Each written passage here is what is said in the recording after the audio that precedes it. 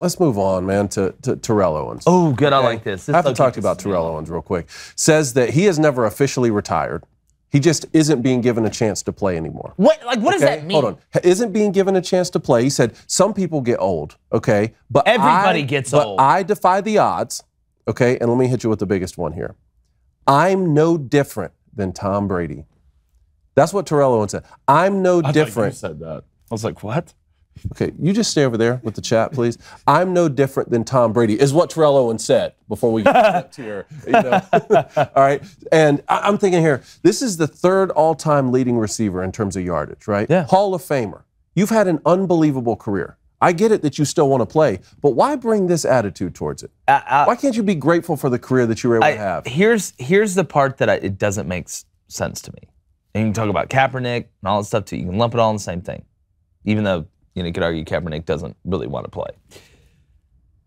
The NF, the way the NFL works, I don't understand how you can say, okay, these owners and GMs, they're all greedy, money hungry, Yep. trying to take advantage of players, using loopholes in the rules to get the best players there. Because what makes money? Winning.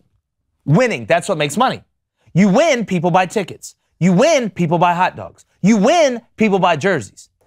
And then they then on the other hand, some people say, "Oh, well they can be like that, but they really don't want the best players." I'll tell Terrell Owens this. I'll look right down the barrel of the camera and tell you this. If you were still good enough, there's enough teams out there that need a wide receiver that they would let you play.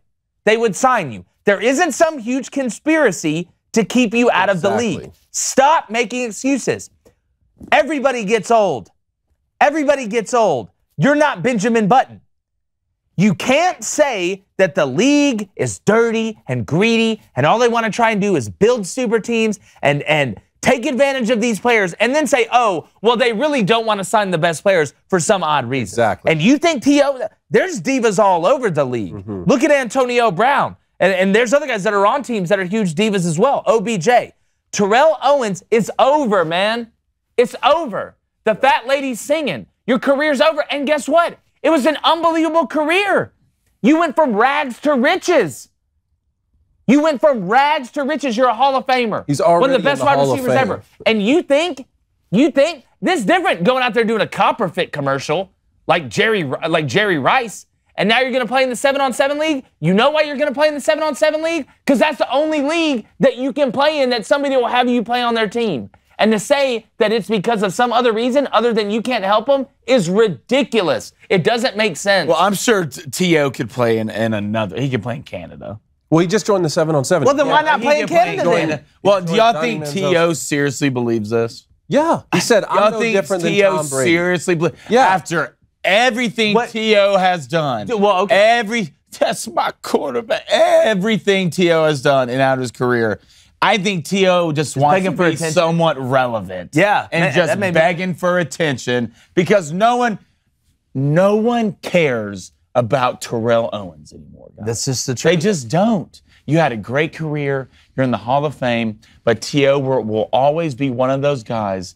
It always has to be about me, Yep. me, me. And most of the time, those guys are usually what? Receivers. Yeah. All right. Well, he's about to join another me guy in Johnny Manziel for the seven on seven. Was How Johnny long- Manziel a me guy or just a dumb? Was he? Was Johnny, was Johnny Manziel a me guy? I think Johnny Manziel Really? That's just, a real question. Yeah. Yeah. Okay. Well, Like, was he a me guy or does he just like to party too much?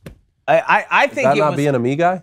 Well, I think It- like coming out to the media and be like, guy? "Well, I'm not getting this. I'm not getting that. I'm I need more passes or what." Johnny Manziel just partied. Does anybody have anything the Boost Club say about Terrell Owens? Because it's got to be one or the other. Because this this whole conspiracy about the NFL is ridiculous. It's ridiculous. I- It's mm. absolutely ridiculous. They are sign. They are going to pro days at like technical schools. They're going to pro days at like the University of Phoenix or like the Le Cordon Bleu of culinary school to find people that can play. There's been people that have gone from rugby to play. If you have never seen how in depth these NFL scouts and these they scour the globe to find people. They will look in every nook and cranny. So to think for a second, if T.O. really is serious about this, there's there's some type of conspiracy about not getting him back, you are off your rocker. You probably always been off your rocker, but now you're off your John rocker. That's Especially what you already have the name recognition. They Yeah, can sell a bunch did of jerseys if, If you're we're- adding Man, value. You did it. You did it. if we're arguing that T.O. hasn't always been off for rocker, his rocker. No, I'm not arguing that. dog. I'm not arguing that. Him, I don't know who's real, realistically worse, him or Antonio Brown. Ah, in Antonio T.O.'s Brown's prime, Man, Antonio's Antonio Brown's prime. Antonio Brown. It was- I mean- Antonio Brown. Terrell Owens wasn't missing games because of his stuff. Yeah, like uh, he was still go. He's third all time on the on the Yeah. uh, Yeah, I agree. list. Antonio Brown to me is le- has legitimately. He's a problem on a team. All right, Hudson Little says T.O. has always been overrated. Fight me. If you like that content, go ahead and subscribe because we're going to be balling every day on Crain and Company. Hit that like button while you're at it and go ahead and smash it like Derrick Henry on an ISO run.